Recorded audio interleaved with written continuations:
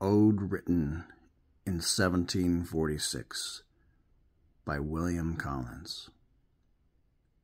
How sleep the brave who sink to rest by all their country's wishes blessed, when spring, with dewy fingers cold, returns to deck their hallowed mold.